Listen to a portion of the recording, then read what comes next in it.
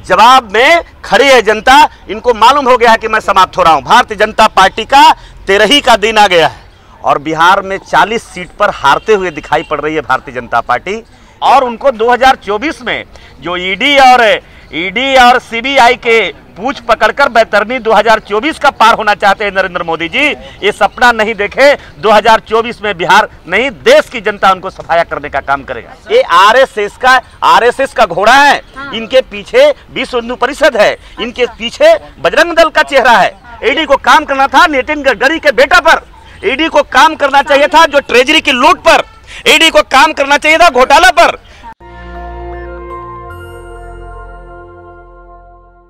देखिए, बिहार में खास करके लालू जी के परिवार पर भारतीय जनता पार्टी और भारतीय जनता पार्टी शासित जो केंद्र की सरकार है, जिसका मुखिया नरेंद्र मोदी जी हैं, वो कोई पहली बार कार्रवाई नहीं, ईडी और सीबीआई का कार्रवाई कोई पहली कार्रवाई नहीं है। ये पूरे देश नहीं, दुनिया जानती है। लेकिन मैं तो यही बात कहूँगा आपको कि बिहार के 40 में 40 सीटों का रिपोर्ट उनके पास आ गया है। और बिहार में 40 सीट पर हारते हुए दिखाई पड़ रही है भारतीय जनता पार्टी। ये हताशा में इस तरह का कार्रवाई करके तेजस्वी जी का छवि को खराब कर रहा है महागठबंधन के छवि को खराब करने की सरकार काम कर रही है।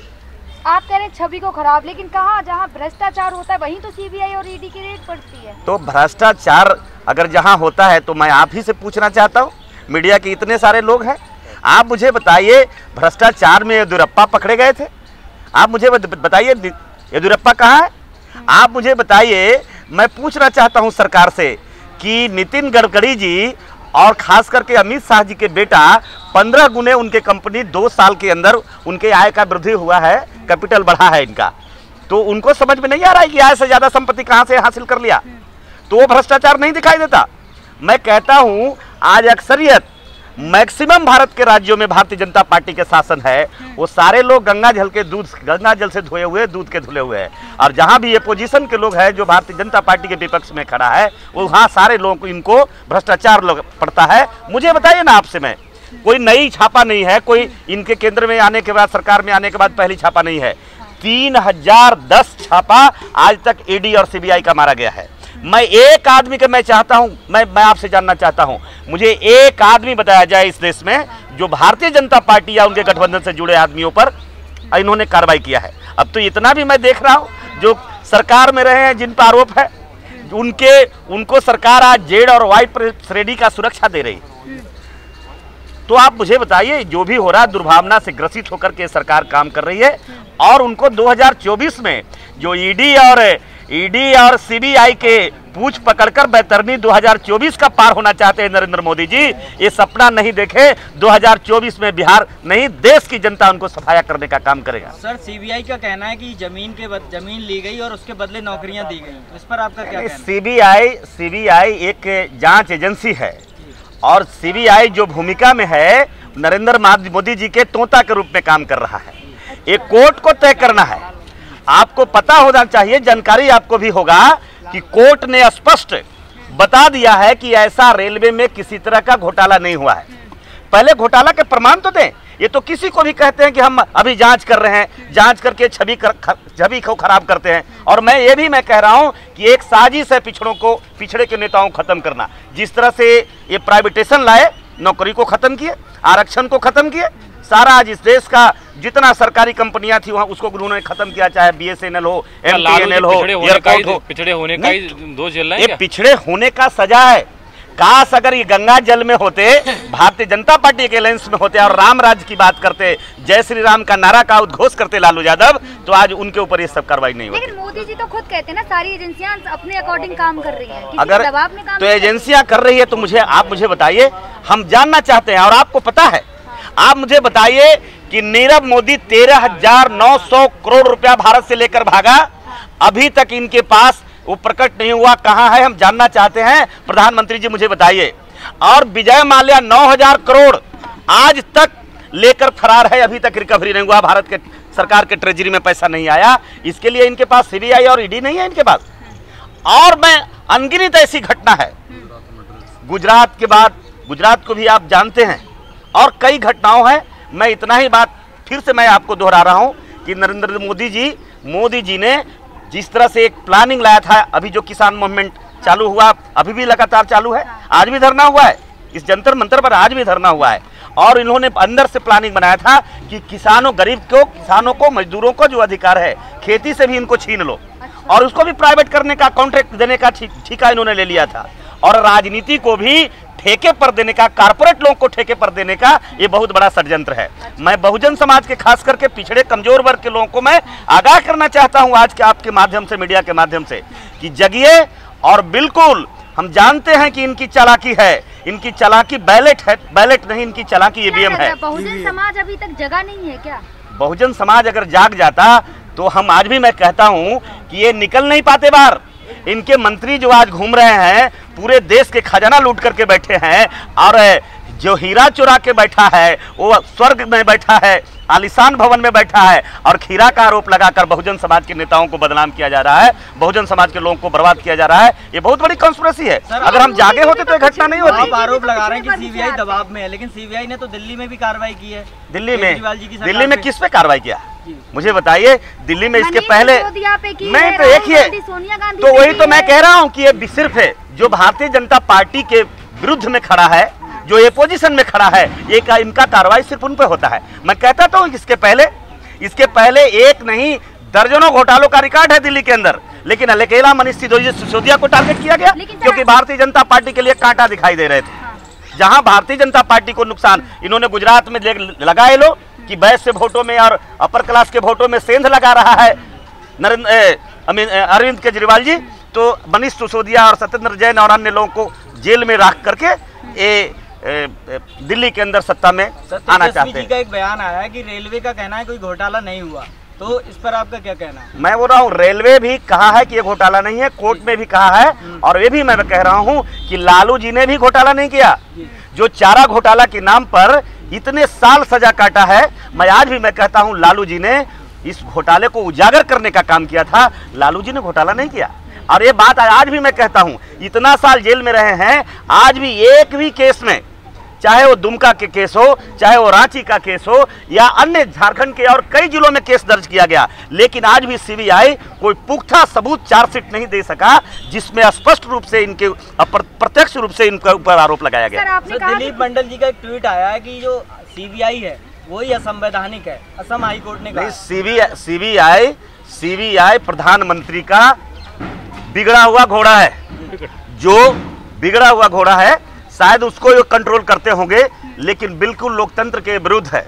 बिल्कुल कानून के विरुद्ध है। मैं आज भी मैं कहता हूँ जिस दिन संविधान का देश बनेगा जिस दिन बहुजन समाज का बेटा कोई प्रधानमंत्री कुर्सी पर जाएगा उस दिन सीबीआई का दूसरा विकल्प देकर के हम ऐसी संस्था का निर्माण कर देंगे जो संविधान से काम करे संविधान से आगे तो बढ़े। पिछड़े वर्ग से ही आते हैं ना। मोदी पिछड़ा नहीं हो रहा नहीं है। पिछड़ा होने से क्या होता है? पिछड़ा आज इस देश में आपको मैं जानकारी दे दूँ पूरे देश में सवा सौ करोड़ में 110 करोड़ लोग पिछड़ा है। हम्म। लेकिन आप मुझे बताइए वो पिछड़ा उसे नहीं कहेंगे प्रधानमंत्री उसे हम नहीं ये तो?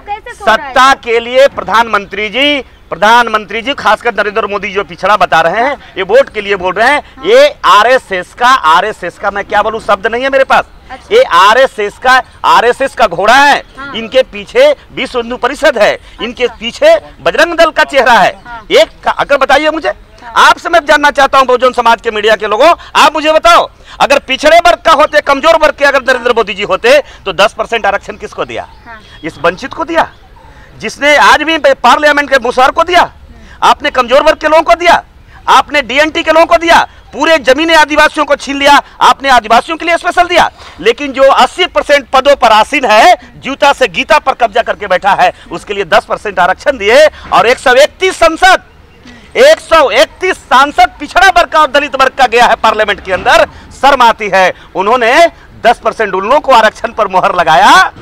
जो आदमी पूरे देश का खजाना लेकर के बैठा है ज़मीन से लेके जल से लेकर सारा चीज़ पर कब्जा करके बैठा है उसके लिए प्रधानमंत्री जी दस लग रहा है परसेंट सीबीआई ईडी की जो कार्रवाई हो रही है चुनाव को देखते हुए हो रही है जो अगला चुनाव आ रहा है पूरे भारत में भाजपा विरोधी लहर चल रहा है। अच्छा। भाजपा के विरुद्ध में भाजपा को समाप्त करने का देश के लोगों ने यह कर लिया है। अब एक चाहते हैं कि सबको छवि खराब कर दो सबको जेल के अंदर डाल लो और उसके बाद में गंगा जल लेके। लेकिन सर आप कह रहे हैं भाजपा विरोध कहाँ सर अमित शाह जी ने पार्लियामेंट में बैठ के कहा है 2024 में भाजपा आना तय है। नहीं अमित शाह जी को मैं नोटिस नहीं लेता। अमित शाह जी को आप पता लगाइए। नहीं गृह मंत्री होने से क्या होता है? गृह मंत्री इस देश कौन है? आपको यह भी तो पता लगा लेना चाहिए कि भारत में एक ऐसे गृह मंत्री हैं जिनको गुजरात की सरकार ने तड़ीपार किया है। आप पता लगाइए हम उन्हें नहीं मानता। सर एक सर एक कहावत है कि बिना चिंगारी के धुआँ नहीं उठता। तो अगर सर आप भी पाक साफ़ होते तो इनके पास कोई वही नहीं होता ईडी लगाने का सीबीआई लगाने नहीं नहीं हम अगर पाक साख नहीं है तो हम बदनाम कहाँ है? हमने हमें आप दोषी तो कर दीजिए।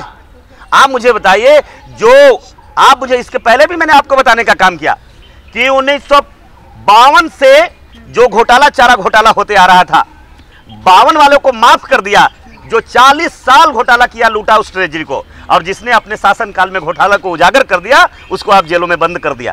क्या आप लगता है लालू कोई साधारण व्यक्ति है? तो लालू को जेल में बंद करके तेजस्वी को बंद करके क्या मैसेज देना चाहता है? कि क्या यह सामाजिक न्याय की लड़ाई रुक जाएगी? सामाजिक न्याय की लड़ाई और तेज होगी। पिछड़े और दलितों में गुस्सा है माइनॉरिटी के लोगों में गुस्सा है मुसलमानों में एक गुस्सा है। ये भारत के लोकतंत्र का हत्या कराना चाहते हैं नरेंद्र मोदी जी। सीबीआई ईडी से 2024 के चुनाव पे कोई नहीं ईडी व्हाट इज़ ईडी? क्या है ईडी? ईडी आपको काम करना था अमित शाह के बेटा पर। ईडी को काम करना था नितिन गडकरी के बेटा पर।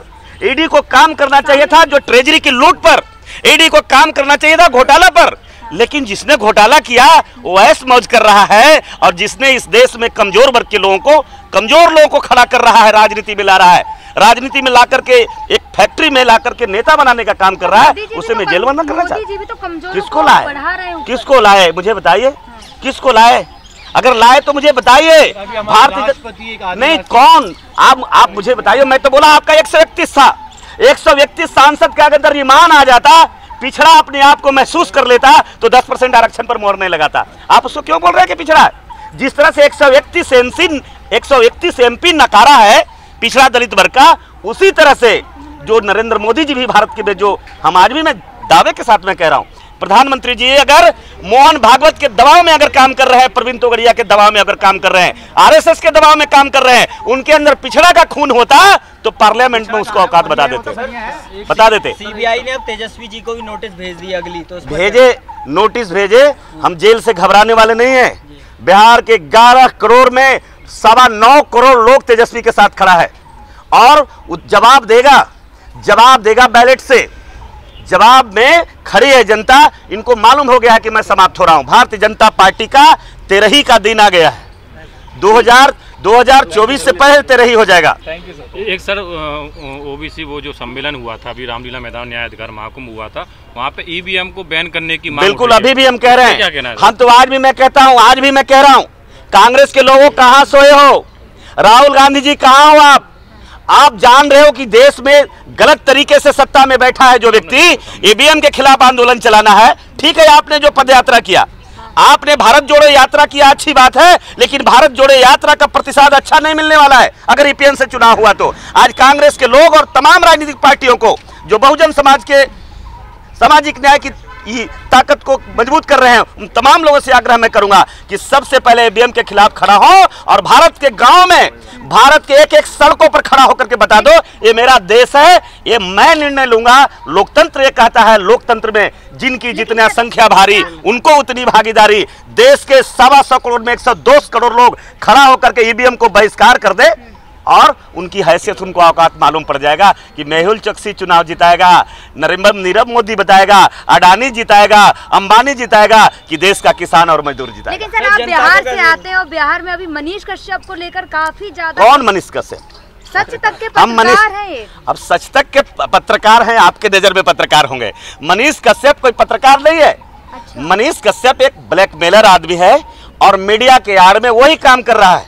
जो गोदी मीडिया के लोग काम कर रहे हैं। बिहार में गोदी मीडिया मैं आज भी कहता हूँ गोदी मीडिया उसके जो आप आप जिसका नाम ले रहे हैं हाँ। आज से मुझे मैं मैं चाहूँगा कि कुछ प्लीज़ उसका नाम नहीं लीजिएगा।